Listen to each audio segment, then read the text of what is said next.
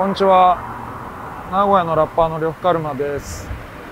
今日はわざわざ名古屋まで来ていただいたので普段僕が遊びの遊びながら行ったりとか友達来たら連れて行く名古屋の地元のご飯屋さんに行こうと思います。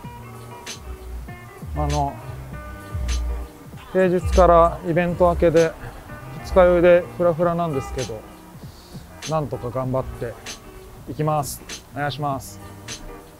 この辺は大津商店街って言ってまああんまクラブがある場所ではないんですけどまあ栄とかもちょっとやかましいんですよ正直僕らの年になってくると。で大津の方がちょっと落ち着いててまあここはここのやかましさがあるんですけどそのギラギラの繁華街みたいなノリじゃないんでちょっとそうですね。こっちの方が落ち着くですね。はい。なんかまあ割と異国情緒があとまあ古着屋とかいっぱいある感じですね。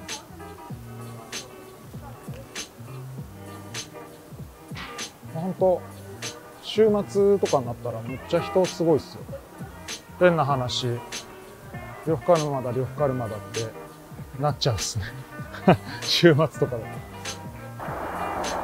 まあここはちょっと商店街から一本離れるんですけど今日行く一軒目は、えートントっていう豚料理屋っすね。その審査会に僕がレギュラーでやってるイベントの箱があるんですけどもともとそのすぐ近くにあったんですよ。でよく行っててでこっちに移転してきた感じですね。じゃあまだ仕込み中なんですけどお邪魔します。こんにちはお願いしますすみません注文いいですか？ガッチャンジャと、えーとろけるレバーと、はい。えーハラミ一本焼きをはい。お願いしますお願いします。でも豚っすねあとさっき頼んだあのとろけるレバーなんですけどレバーもともと苦手ででだったんですけどここので食えるようになったっていうか、まあ、ここ以外じゃあんまレバー食わないですけど今だにはい、失礼しまずこちら、ガツチャンととろけるレバーです。あとすみませんウーロン茶いただいあじゃない。てもいいですはい。味がついてるので、そのまはい。これがもう絶品ですね。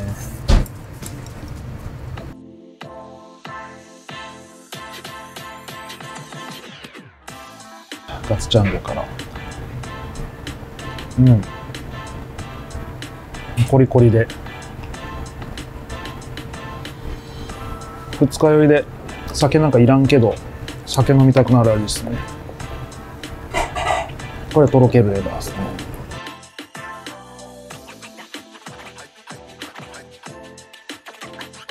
豚のレバーなんか食えるイメージないじゃないですか。こんなレアで。いただきます。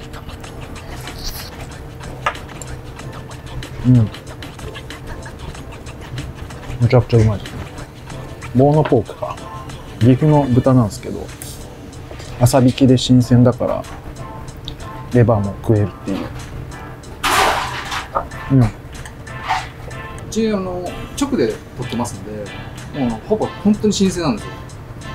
あの、よくあの、レバー嫌いな人もいますが、俺もそうなんですよ、実は。うちで食べると、はい、そうですね。あの、ここでしか食べれなくなっちゃうんですよ。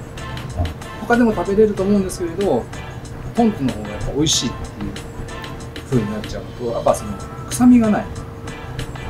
で、甘みがある。まあ、特徴ですかね。トロトロっすね。はい。だから、とろけるレバーですね。創業以来の、これが一番人気。やっぱそうなんですね。はい。ない時あるっすもんね。ありますね。出ちゃう場合とかもいっぱいある偉そうなこと言わね俺はラッパー早い段階で道間違えた。これは飛行両親や学校普段ふんわり来るっていうよりは友達と来るんで豚のレバー食べに行こうぜっていうとちょっと引きがあるじゃないですか。え豚のレバー食えんのみたいな。それでここ連れてきて。その家族で飯食う時は家の近所で食うんですけどここは連れてきたっす。ねあんまり境の方に家族を連れてくることってないんですけどここは一回そのそれこそレバー食わしたいなと思って嫁さんに。連れてきました。ねさすがに家族を。失礼します。ハラミの一本焼きにお願いし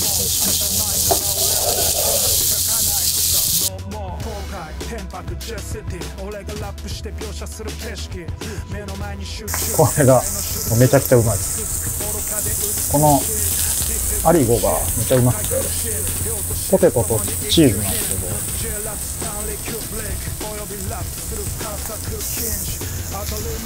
熱っ。熱っ。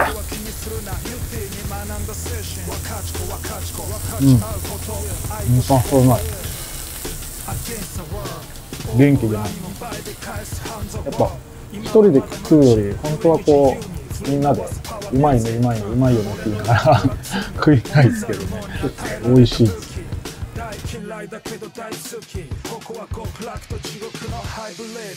え並ばない待たない予約なしで入れるところです、は いまあ、名古屋来て観光できたらまあ大須商店街行くと思うんでみんな。で大須って豚食うならポンと。ここでレバー嫌いの人も体験してみてほしいです。おすすめです。